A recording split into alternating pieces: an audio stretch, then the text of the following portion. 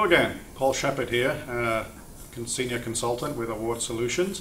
And this is uh, part two of uh, a series on VoLTE and IMS. And we're going to continue our discussion about sort of the main components of the IMS network that will play roles in VoLTE calls.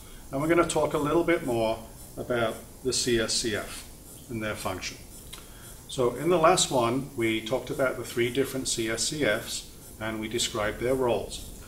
Let's go into a little bit more detail on exactly how these get set up and more importantly, how the UE finds out about them. So we have the proxy CSCF. If you will recall, we said last time that when we have a UE, and that UE is going to send SIP messages to the IMS network, those messages, of course, will traverse the LTE network and that the UE is always going to send its, any SIP message to the proxy CSCF. And conversely, any SIP message received by the UE will always come from the proxy CSCF. So the question might be, how does the UE know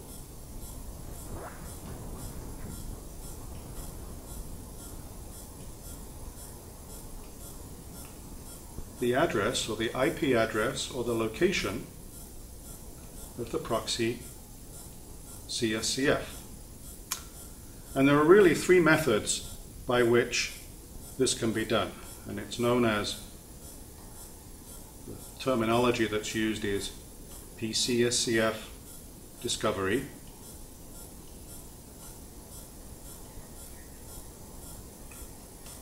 One, we could actually configure that into the UE itself. As part of the SIP client software on the mobile, we could actually configure it. So it could be pre-configured on the UE.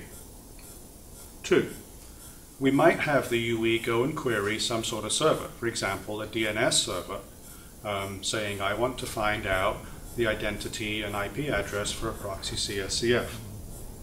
So we could go do a query from a UE, e.g. DNS,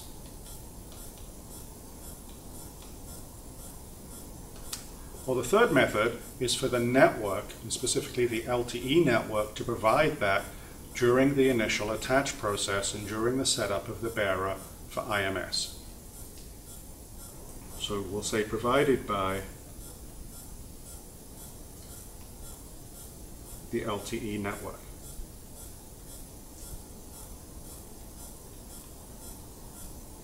And this third method is the one we're going to use.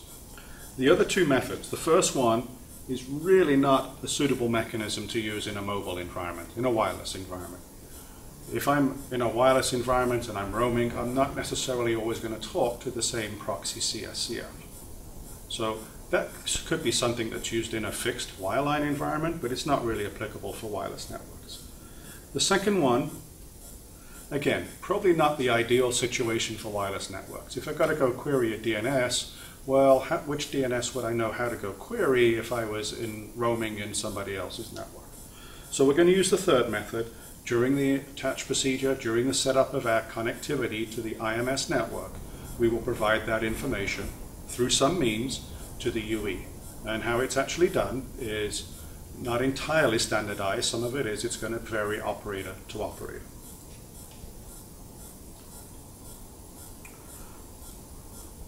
So having got that, let's now look at, go into how, or let's look at the serving CSCF. Now, question, does the UE really need to know the identity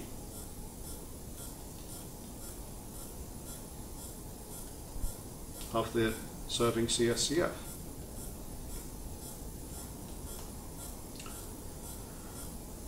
The answer is actually no, although we do actually provide it to, to the UE as part of the registration process. So it is there, it is provided.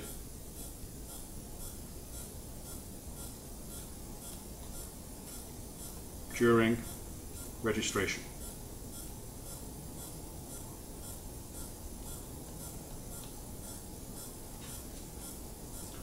Let's also look at the interrogating CSCF. So for the I,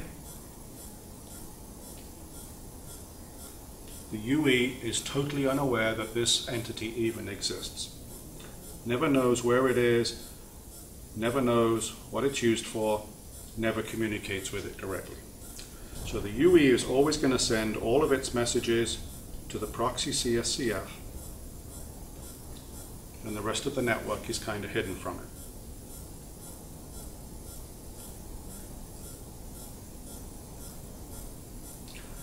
Let's very briefly look then at a SIP message flow, typical SIP message flow through the network.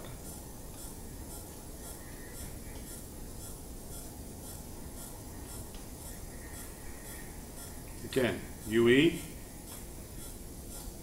proxy, CSCF,